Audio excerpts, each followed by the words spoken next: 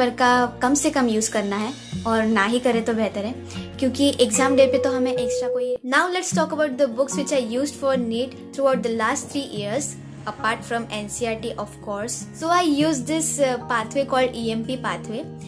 you might know E M P is another name for the process glycolysis which is the first step in respiration but unlike here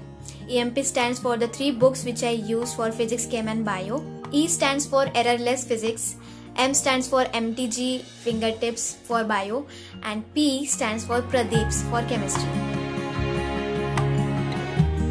Errorless एक ऐसी book है जो कि common है for both JEE and NEET aspirants JEE वालों के लिए ये बुक बहुत बेसिक है तो वही नीट एस्पायरेंट्स के लिए बुक बहुत हाई लेवल होगी बुक में हर एक चैप्टर के टॉपिक वाइज सौ से भी ज़्यादा क्वेश्चंस दिए हैं and I tried solving most of them and found those questions really relevant physics एक थ्रेटनिंग सब्जेक्ट है, जिससे सबको ही डर लगता है। But not until when you solve this book regularly trust me ये बुक पूरी सॉल्व करने के बाद आपको एक रफ आइडिया आ जाता है कि फिजिक्स में क्वेश्चंस किस तरह के पूछे जा सकते हैं। What's the approach to solve them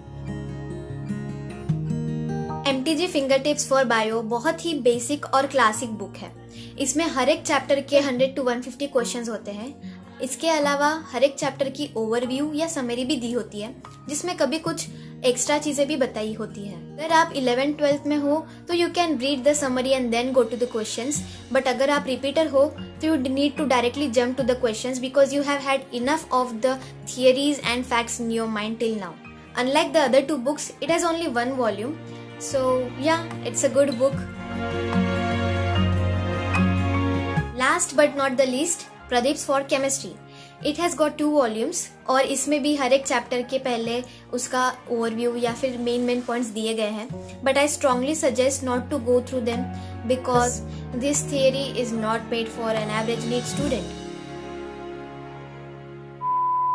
बहुत हायर ऑर्डर की थियरी दी हुई है so directly jump into the questions मैंने जनवरी 2020 का जेई मेंस का पेपर अटेम्प्ट किया था। और मेरे पेपर सेट में केमिस्ट्री में आई रिमेम्बर प्रदीप्स के दो क्वेश्चंस पूछे गए थे डायरेक्टली सेम टू सेम आए थे पेपर में Many people find this book worthless, but I would like to tell you that this is one of the highly suggested books from a prestigious faculty for chemistry, and I truly find found it helpful.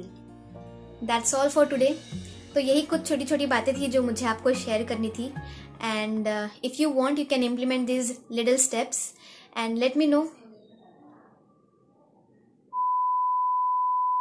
with that hope to see you again super soon. Till then you take care of yourself and thank you for watching